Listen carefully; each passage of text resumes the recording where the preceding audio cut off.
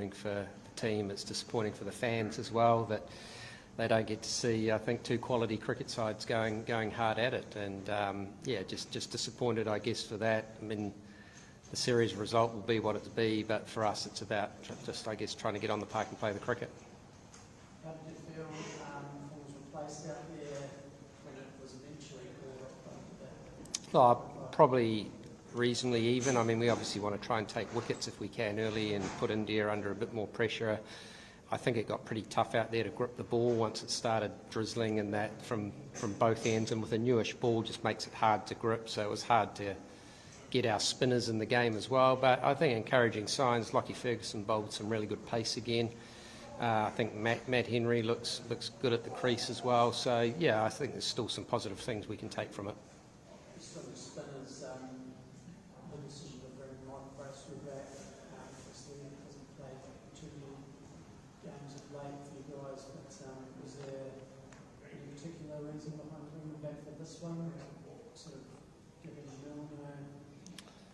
a? A little bit of both. Uh, traditionally, Hamilton will spin a wee bit more than, than Eden Park, and, and we looked at the wicket and just thought just a, it was a touch soft, so perhaps it would grip and spin a wee bit. But I think the rain and drizzle put pay to that and probably just sped the wicket up a little bit as well. So it was, it, yeah, from from our perspective there, it's pretty hard to, to gauge too much on that. But I mean, Michael has been part of our squad for a long time. We think he's a fantastic player. We like the the look of the skills that he's got. I guess just sometimes it's hard fitting 13 into 11. And can you glean anything much out of a night like this?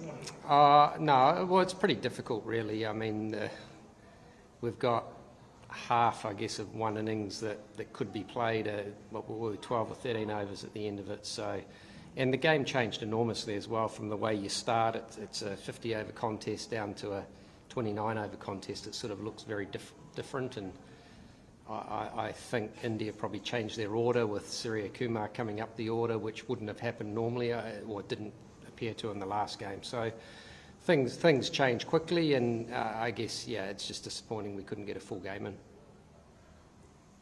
Rahul? Hi, Gary Rahul here. Um, you are now the number one ranked ODI team in the world, so congratulations for that. Um, not so long back, you were also the world test champions. Um, there's clearly something right that's going on in, in the dressing room and on the field. Uh, what do you put that down to? Uh, well, it's nice with that. I mean, the the rankings for me are a little bit irrelevant, really. I mean, once the game starts, it doesn't really matter what your ranking is. It's two teams playing against each other. Uh, I think we've had a number of uh, consistencies in our team for a while now. Um, we try and be very consistent with our selections and, and the way we go about um, selecting the sides. I think we've had a number of um, players that you will look at back in the history and say there, there's, there's a number of players here that, are, that will be New Zealand greats as well, I think. Um, and you, you put that sort of stuff together and, and look at, at how we, how we, the style we try and play and, and try and play for each other out there as well. And I think the guys have done that really well over the last six to eight years. Just, uh, I've asked this question of a few other cricketers as well. Um, your thoughts on cricket being played under a roof uh, with all the cancellations, even through the World Cup, we were in Melbourne and we had three games washed out there. We've had three games affected here. What are your thoughts on playing cricket under a roof? Uh. Yeah, very difficult in New Zealand because we haven't got any grounds to, to be able to do that. So uh, I guess if there are grounds available, then, then it has to be considered. Um, I think as a spectacle, though, we still consider cricket to be played as an, an outside game and, and played in the sun as much as we can. So uh, I think you still want to be able to make that happen wherever possible. Uh, Can you uh, tell me something from a coach's point of view when you, when you have a captain like Kane Williamson or a, any senior player, you think that they are legends of the game and suddenly in T20 format, strike rate. So as a coach, how difficult is it a catch between how, how you communicate if you think that no, maybe captain or senior player doesn't deserve a place in this particular format? How do you communicate? Because that's a very difficult, awkward situation to be in as a coach. Uh, I think the, the key thing is you, you are honest with the player and you, you can I just ho- hold your integrity and can be honest with them around where you see them being at at any given time. And I know there's been a lot of lot of chat around a number of players around the world in their T20 game, but in my opinion, uh, many of the wickets we play on, it isn't just about a game of crash bash the whole time. There's still, and I think the the World Cup in Australia actually showed that on a number of occasions. The batsmanship side of it still comes into it, and I think when in our T20 side we have a couple of players with Devon and, and Kane, you would probably put in that more batsmanship, crafting an innings type style as opposed to just going in there and crash bash from ball one. There's still a place for those players, in my opinion.